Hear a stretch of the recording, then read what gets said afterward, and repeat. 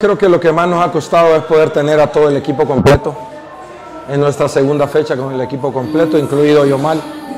Así que esa es la tarea, ¿no? Tratar de este, equilibrar esas situaciones y volvernos un equipo, eh, sobre todo, yo creo que, que nos está faltando la tranquilidad de concretar, porque hoy tuvimos una buena cantidad de situaciones y ajustar algunas cosas, ¿no? Así que Vamos a seguir trabajando, repito, con el equipo, orgulloso del esfuerzo que se hizo.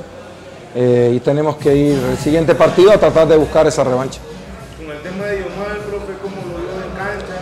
Lo vi mejor prácticamente, todavía no está al 100, creó situaciones de gol, eh, tuvimos que sacrificar a Quevedo por la expulsión, que estaba haciendo un partido aceptable también, pero bueno, ahí nos cambió totalmente el partido, con todo y eso eh, lo debo decir así porque metimos a Metapan en su portería.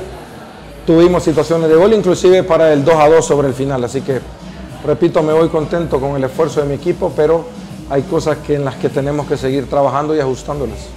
¿Para quién fue la tarjeta roja, profe, cuando se acercó del arco?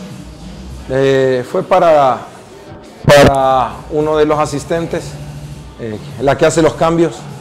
Lastimosamente fue con la mujer a la que expulsaron, que me parecía tampoco que no era para, para esa situación, pero repito, sí nos sentimos afectados hoy por el arbitraje.